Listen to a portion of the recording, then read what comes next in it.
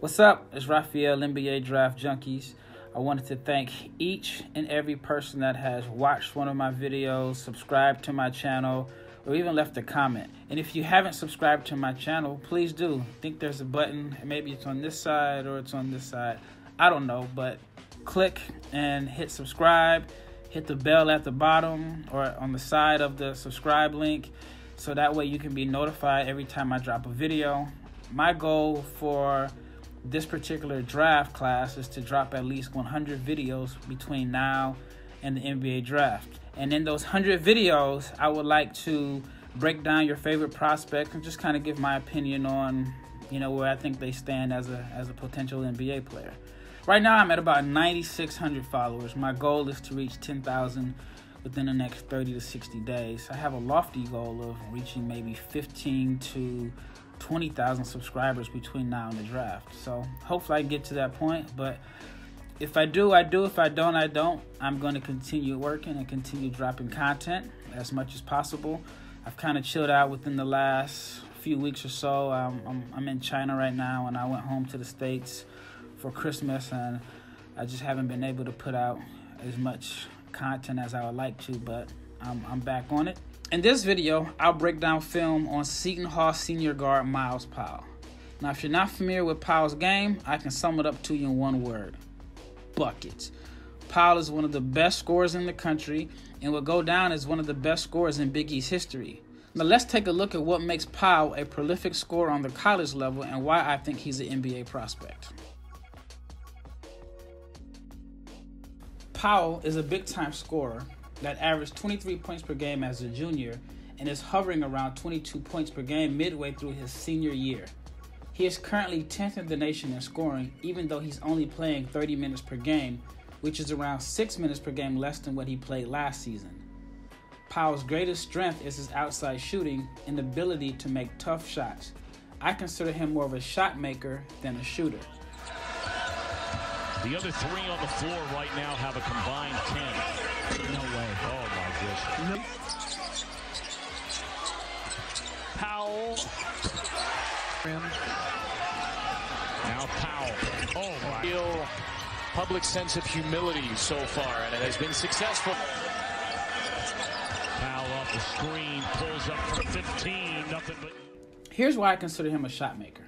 Outside shooting will always be in demand but it's easier to find an outside shooter than it is to find a three point shot maker. It requires shifty ball handling, good footwork, a quick, effortless release, and deep shooting range to be able to shoot threes off the dribble the way Powell does. It's a very difficult shot to make, and when Powell is in his bag, he makes it look easy. Transfer from Colorado State works his way around the screen and hit. Powell, quick release. Boom. Burton slow to get up behind the play. It's a five on four. That's what happens. Loyer right in his hip pocket. He knows he can elevate. Whoa. He knows he can elevate. D, that's when he get things in the lane, too.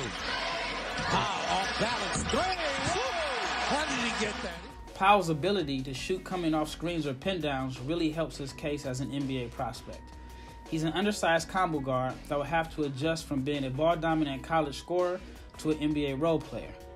Being able to score from off the ball motion sets allows him to complement a star player and make life easier on the offensive end based off shooting gravity alone. I believe his ability to play off the ball is what makes him a special scorer. Offensive coaches, but instead we said, no, we're tough defenders. And there is Powell. Myles Powell does this time. He wants the ball to finish this game off. For three.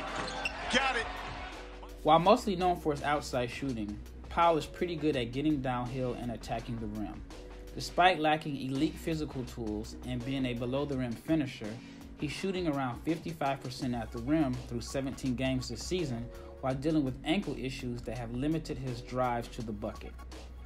His 5.6 free throw attempts per game currently ranks second in the Big East, only behind the nation's leading scorer, Marcus Howard. Powell is able to avoid shot blockers by finishing his dribble drives to the basket with a variety of floaters and runners.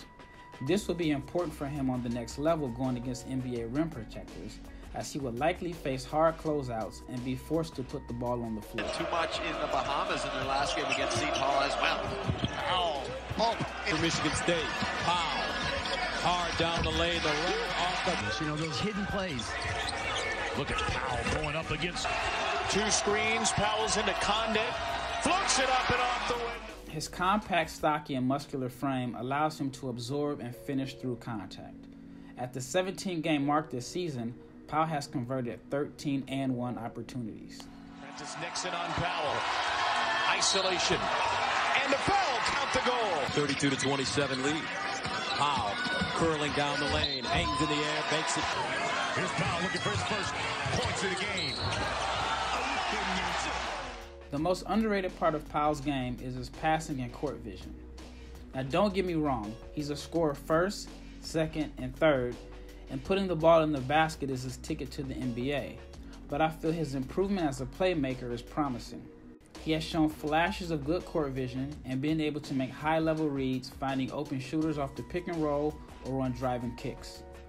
He also has shown he can hit the roll man and create easy baskets for lob threats.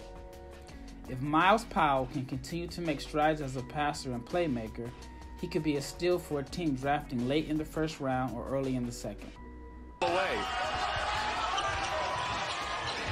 Mahmoud Kelishvili.